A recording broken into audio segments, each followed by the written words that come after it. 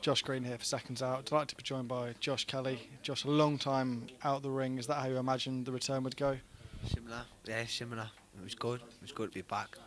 Good to put a performance on, and um, bro, it was nice.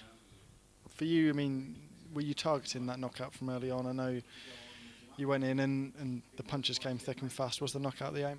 Um, in the back of my mind, maybe, but he- he- he's a tough guy, so I just wanted to soften him up, and then the shot would eventually come. So I did. I tried to do that, and obviously it come earlier than I actually thought.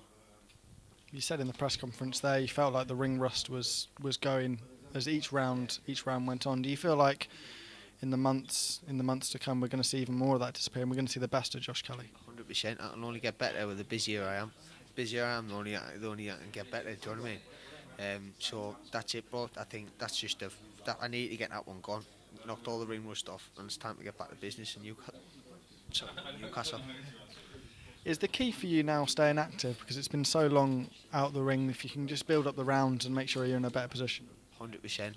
Activity, activity, sharpness, and that all that will, all that needs to. I- I just need to keep being in the ring. Fight nights are where you're gonna learn. So that's where I need to be.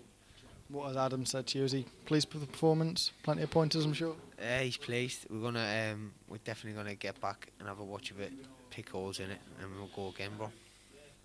Obviously, Lewis Ritson was the man that was mentioned ringside. Um, is he the man that you'd want when you're back there and when you're ready to ready to take on a big fight? In the stadium, 100%. I don't think it's not, I don't think it's worth it if we if we don't do the stadium. I think we need it in the stadium, bro. 100%. Stadium of Light or St James's Park? Stadium, like you know.